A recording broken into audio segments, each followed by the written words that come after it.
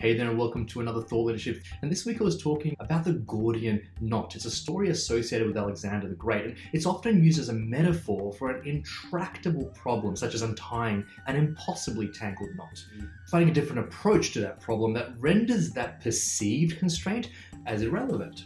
Now, how often in work do we face something which seems to be like an impossible problem to navigate? There's politics involved, there's technical issues, there's people issues, there's a whole bunch of stuff that makes it impossible. And yet, if we approach it a whole different way, could it actually be quite simple?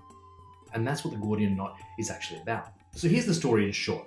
The Phrygians were without a king, but an oracle at Telmissus, which is the ancient capital of Lycia, decreed that the next man to enter the city driven on an ox cart would become their king. That happened to be a peasant farmer named Gordius, who drove into the town on an ox cart and was immediately declared king.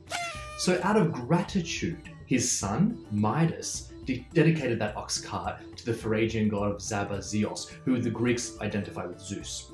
Now, he tied that cart to a post with a very intricate knot made of cornel bark.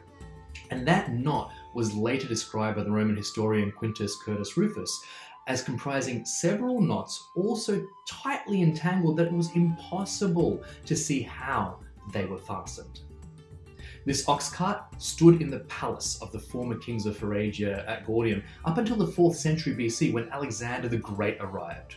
Now, an oracle had declared that any man who could unravel this elaborate knot was destined to become the ruler of all of Asia. Now you can imagine Alexander the Great, who was desperate to rule Asia, was also desperate therefore to untie this knot, but struggled to do so. It was impossible.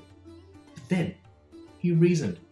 It makes no difference how the knot was loosened. So he drew his sword and sliced it in half with a single stroke. Now, as we know, Alexander then went on to conquer all of Asia as far as the Indus and the Oxus and fulfilled that prophecy. Today, we might call that out of the box thinking, not limited to the rules of the problem, but thinking and challenging the very rules themselves.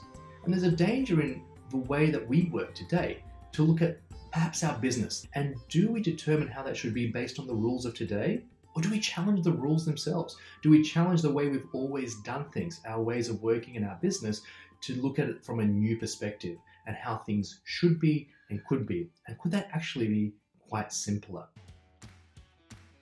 Thank you for joining me. This is the Changemaker podcast, where we talk all things change management and transformation. My name is Sasha Jovanovic, and in each episode, we'll feature a single big idea from emerging practice and global thought leadership so that you have something useful to take away for work today.